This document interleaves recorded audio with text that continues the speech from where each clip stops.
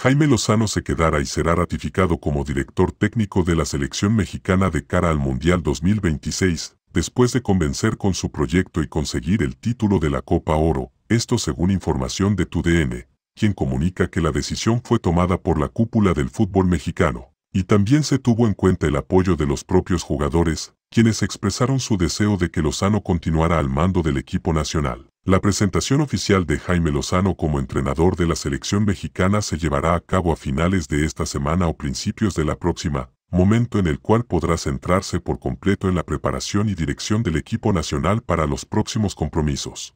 Tecatito Corona podría dejar el Sevilla en este mercado de fichajes debido a sus problemas físicos que le han impedido rendir al nivel esperado por el entrenador José Luis Mendilibar, según información de España de Deportes Cope Sevilla. El club andaluz ya le ha comunicado a su agente que busque una salida para el jugador, que no entra en los planes del técnico.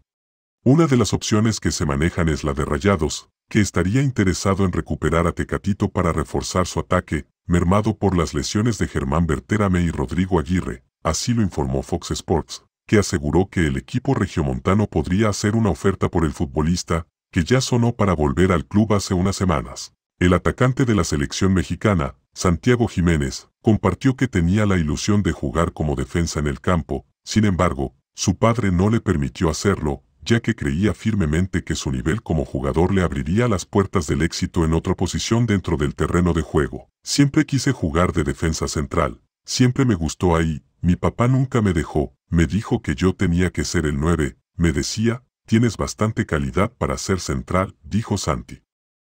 El portero del América, Luis Malagón, habló de la posibilidad de enfrentar al Inter de Miami, por ende, a Lionel Messi, a lo que calificó el enfrentamiento contra Messi como algo lindo, aunque aseguró que eso no los intimida.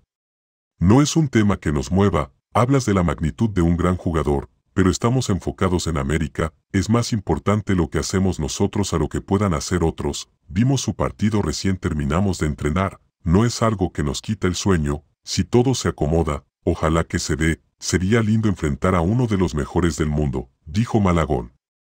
Según información de TUDN, el mediocampista español Sergio Canales tendrá su debut como titular con el Monterrey en el Clásico Regio que se disputará este martes ante Tigres por los octavos de final de la Leagues Cup. Chivas y Necaxa se enfrentarán en un amistoso con el objetivo de mantener el ritmo y prepararse para el reinicio de la apertura. Luego de haber quedado eliminados en la fase de grupos de la Leagues Cup, el partido se llevará a cabo en las instalaciones de Verde Valle el próximo viernes por la tarde.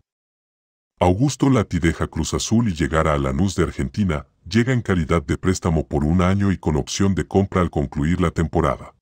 Darío Benedetto de Boca Juniors suena como posible refuerzo para el Pachuca, según reportes provenientes de México y Argentina, el club Tuzos ha mostrado interés en el jugador argentino, ya que en Boca no entra en planes después de que Edinson Cavani llegó al equipo como su refuerzo estelar.